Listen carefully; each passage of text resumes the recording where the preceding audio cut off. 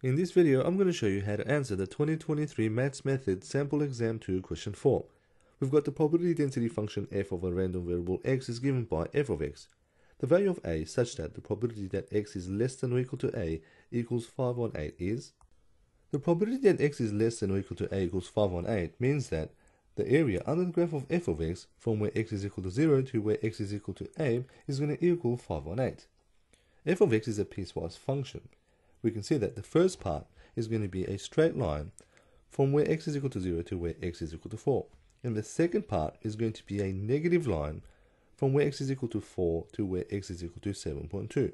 And so its graph will look something like this.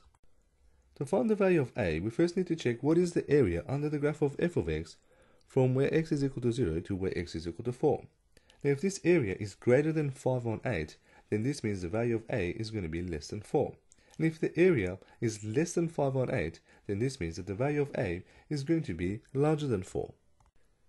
Integrating x plus 1 on 20 from 0 to 4 is going to give us this area.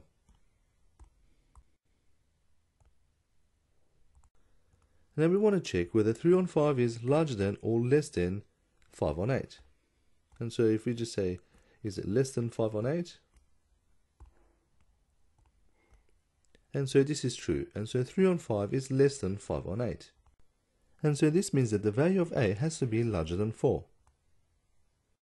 From here we can say that 3 on 5 plus the area under the graph of f of x from 4 to a, which we can write as the integral from 4 to a of the rule 36 minus 5x over 64 dx has to equal 5 on 8. Setting this up in the calculator, we can solve for the value of a.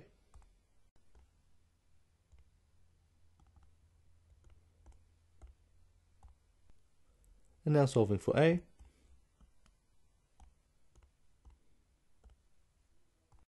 We get two values. Looking at the decimal values, a is equal to 4.1 or a is equal to 10.3. We know that the value of a has to be between 4 and 7.2, and so it has to be the first one.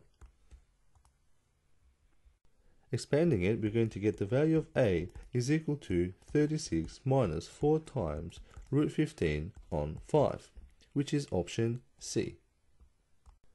Now if you guys want to learn and practice exam style questions similar to this one, then join the Maths Methods Club where you can group past Maths Methods exam questions by topic.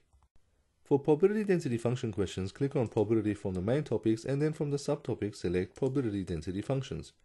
Go to question type, select multiple choice and then click on filter. This is then going to instantly group all the past Maths Methods exam questions in the multiple choice section that's asking you about probability density functions. Go through these questions and see how you go. This way, you're going to be much better prepared for your SACs and exams. And if you get stuck, you can watch the video solutions. Good luck, and I'll see you guys in the next video.